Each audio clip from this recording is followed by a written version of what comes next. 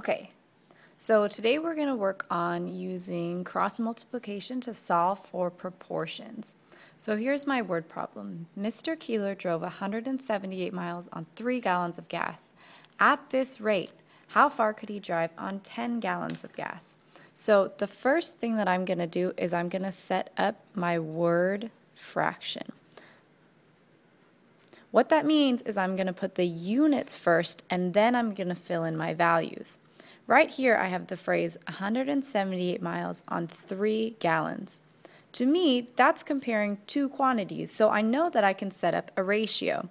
I'm going to put 178 miles on the top, and my next word is going to be gallons.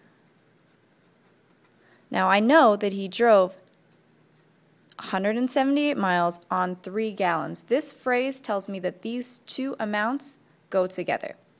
Now I can set it equal, as I set it my proportion, to another word fraction. So first I'm going to start by writing my words.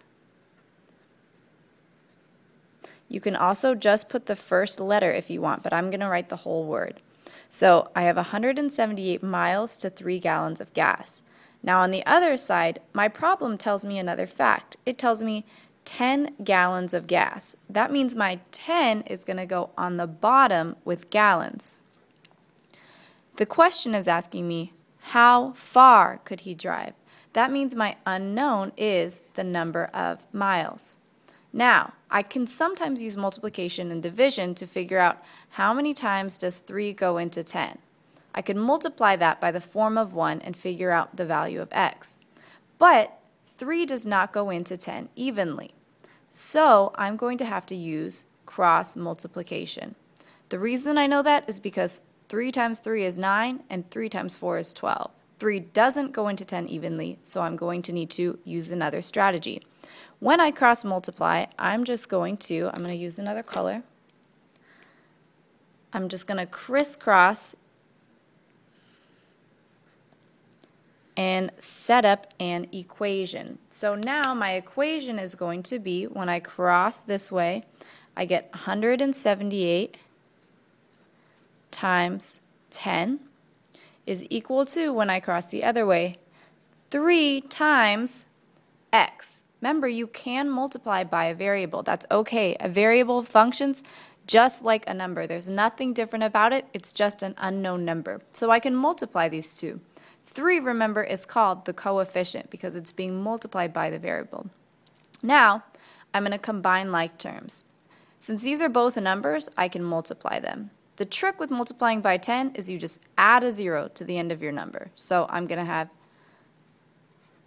1,780 is equal to, on the other side, I just bring this straight down since I can't multiply my number and my variable, and I'm just going to get 3x.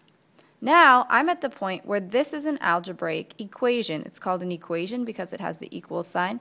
I can make a do, undo chart because now I want to isolate the variable. So over here I can look on the side with my variable. I'm doing multiplication by 3. That means the inverse operation is going to be to divide by 3. Now I'm not dividing by 1,780 because that's my answer. It's already isolated. This has a coefficient and a variable. I want to isolate the variable, so I'm going to have to divide by the coefficient. So when I divide both sides by 3, I'm going to move up here and do my multiplication up here.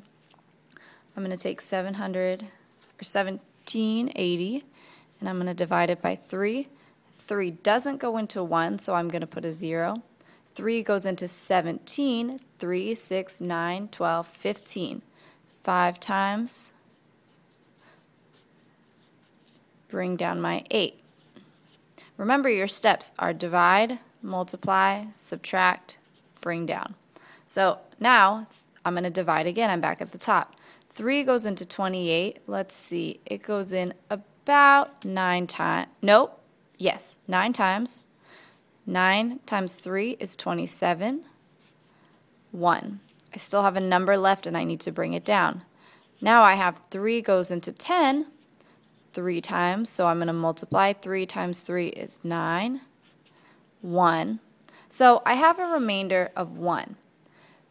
What I can do is I can add a decimal and I can add a 0. Okay? If I put a decimal in my number, I also need to put it in my answer. So it goes straight up and it's going to sit right after the 3. Now, this 1, this remainder 1, doesn't just come up and become 0.1. I need to bring down my 0 and continue my division. So 3 goes into 10, 3 times, take away 9, remainder 1. Now, I know that no matter how many zeros I add, I'm just going to keep ending up with 3, 3, 3, 3, 3, because 3 is only going to go into 10 three times. So I'm just going to stop right here, and my answer is going to be x is equal to 593.3. If I was going to write a full sentence, remember that your value of x is now 593.3 miles. So if I was going to write a full sentence, I would say Mr. Keeler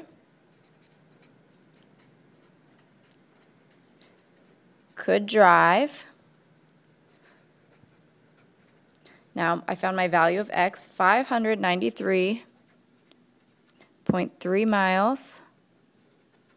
On, my proportion tells me that he's driving this far on this many gallons of gas. So 593.3 miles on 10 gallons of gas. So that's how you cross multiply to solve for the unknown variable in a proportion.